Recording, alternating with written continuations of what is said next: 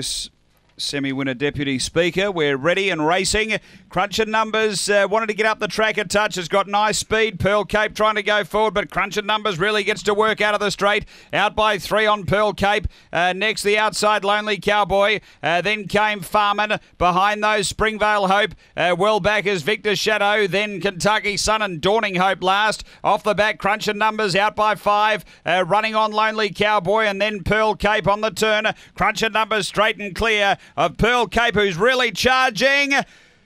Oh, crunching numbers. Look, it may have just held Pearl Cape, but it did finish quickly, the Red Dog. Then Farman behind those lonely Cowboys, Springvale Hope, Kentucky Sun was back toward the tail end, and Victor Shadow just in front of it. 30 21 the run, and the two hangs on. Crunching numbers, just. It's uh, two from one, uh, three thirds, seven is fourth. Two cruncher numbers. Ben Rawlings, absolute picket fence next to this greyhound's name, has done enough here tonight. Number two, Ben Rawlings, Deborah Stubos, a black dog, January 2015. Elite State Mighty Chaos, number two. Uh, second to one, Pearl Cape, Bob Harris, a white and black bitch, J- January 2015. Cape Hawk, singing Laricki. And three, Farman for Lauren Harris, a white and brindle dog, April 2015. DJ's Octane Kiar Angel.